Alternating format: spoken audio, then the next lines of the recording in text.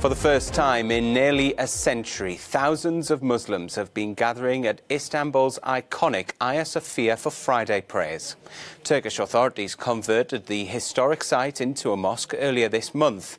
Turkish President Recep Tayyip Erdogan joined worshippers at the landmark earlier. He issued a decree reinstating the 1500 year old building as a mosque after a court ruled that its conversion to a museum in 1934 was illegal. Secular and Christian leaders from around the world have condemned the decision to convert the Hagia Sophia, which was originally built as an Orthodox Christian cathedral. Journalist Gareth Browne has got this update from outside the site in Istanbul. Thousands of people travelled from across Turkey and from as far as Western Europe for Friday prayers here at the Hagia Sophia today. The building in Istanbul opened its doors for Friday prayers for the first time in 86 years, and that came after a decision just a few weeks ago by Turkish President Erdogan to turn the building back into a functioning mosque. It had previously been a museum, and it was President Erdogan himself who was leading the pre prayer recital this afternoon. Now, that decision has been controversial, especially with historians and cultural specialists who are deeply concerned for the welfare of the building.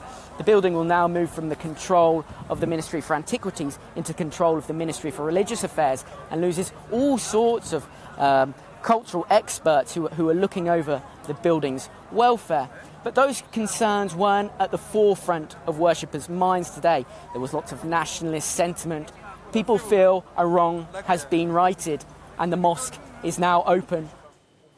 There's been strong condemnation to the reconversion, some of the strongest coming out of Greece, which has Europe's largest Orthodox Christian community. Let's cross now to our Athens bureau where we can speak to our correspondent Faye Doulgkeri. Good afternoon to you. How has Greece been reacting to this final step in the conversion of the Hagia Sophia? Hello, Oliver. The move of the Turkish government has sparked a lot of dismay. Uh, in Greece, Athens had called on Erdogan to maintain it as a museum as a nod to Istanbul's multi-religious heritage. In Greece, bells today, bells tolled and flags flew at half-staff at hundreds of churches across the nation. The Prime Minister Kyriakos Mitsotakis, in a television message, said that Turkey is a troublemaker and said that it is threatening the peace in Eastern Mediterranean. What is happening today in Istanbul is not a show of force, but proof of weakness. Of course, they don't have the power to overshadow the radiance of a World Heritage Site. However, they tarnish universal values. That is why universal condemnation is demanded. The Greek Orthodox leader Archbishop Hieronymus is uh, holding a special service at Athens Cathedral later this evening. There are protests being organized right now in social media by various groups, and in Thessaloniki, the second largest city in Greece, uh, they will be holding vigils uh, tonight.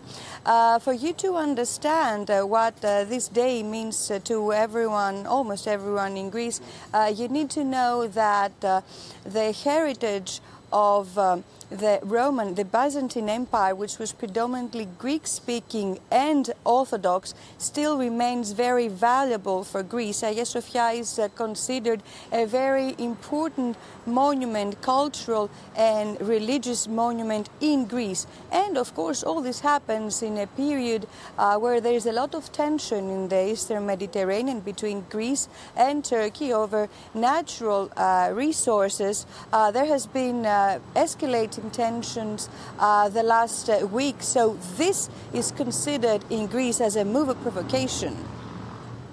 Faye, thanks very much for that, joining us there from our bureau in Athens. Well, for more on this story, let's speak to Henry Hopwood Phillips. He's a historian who focuses on the Byzantine Empire. Thanks very much for joining us here on Euronews. First of all, why do you think that Turkish President Recep Tayyip Erdogan has gone ahead with this conversion right now, considering he's been in power for quite a bit of time?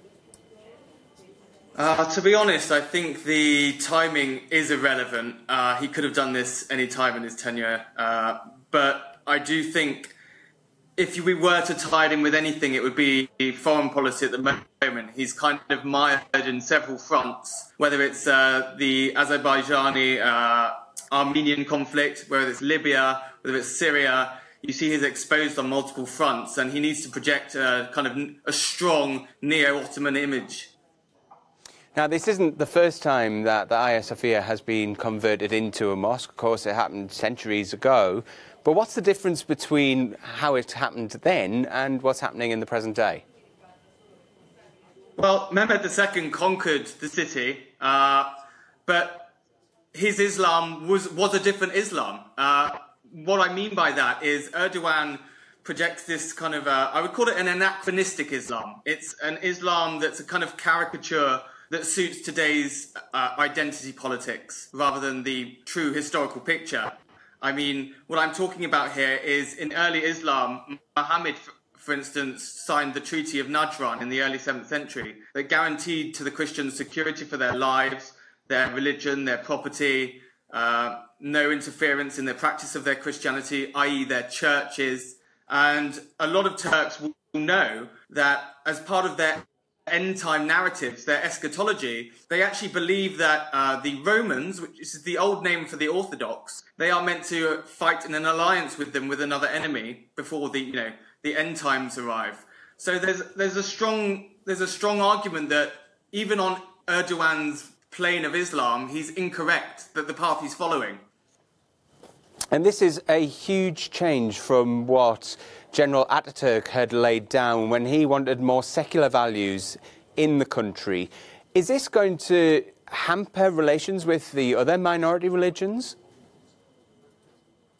Definitely. I mean, it's, it's become a bit of a joke. It's become a bit of a joke that um,